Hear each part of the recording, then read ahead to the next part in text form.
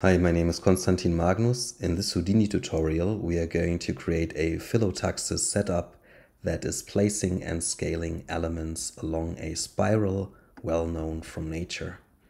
So let's start from scratch and place a vertical line inside a geometry container.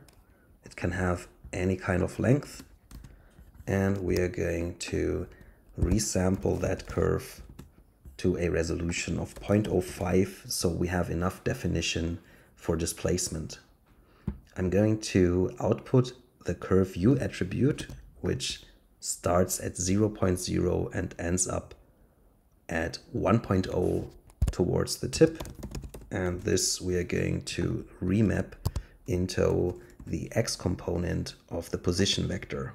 I'm going to use the preset hill to get a first basic shape and if you zoom out, you can examine that now some edges are squashed and others are stretched. Now, in order to compensate for that, we are going to resample again, this time setting the interpolation to subdivision curves and give it a bit more definition, let's say 0.02. And instead of revolving that curve, we are going to store the current x position into p scale and then flatten p at x back to zero again.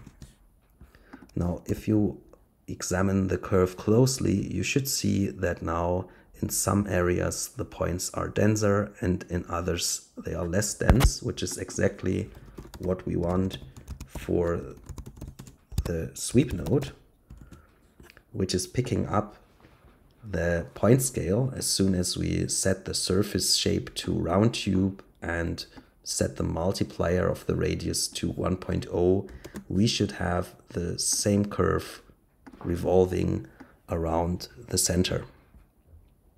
The surface type we are just going to set to points and the columns down to 1. Now each edge of this curve should be rotated by the magic number of 137.508. And now if we increase the resolution of the second resample node, you should see that classical pattern of phyllotaxis. It can be seen best by setting the remapper to linear and watching it from above. So that's all we need to set up this pattern. Now, in order to copy elements onto these points, we should create a bit of transformation attributes. So this is typically v at up, which we are going to set to 0, 1, 0. And the normals we are going to derive from the position. I'll just use x and z. So we're basically flattening the position info and make sure to normalize it so all vectors have the same length.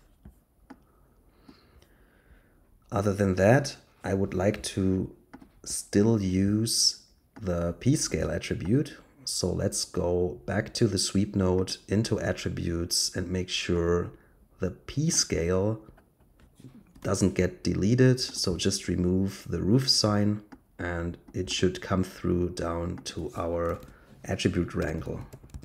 Now p scale we're going to set to its own square root multiplied by a parameter called s for scale.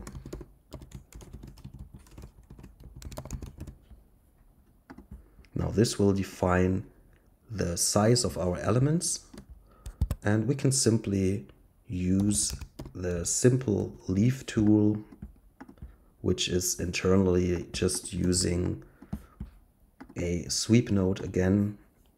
If you look at the ramp, this is where the shape is coming from, and this is going to be copied to the points of our spiral. Now, feel free to play with any kind of shape. I can even offset it multiply the radius or set a minimum like so. And for visualization, I can use the attribute adjust color node set to bounding box and just choose the Y component. Now what you should see is that all elements gets placed in this nice pattern with any kind of resolution we want from really tight to rather loose.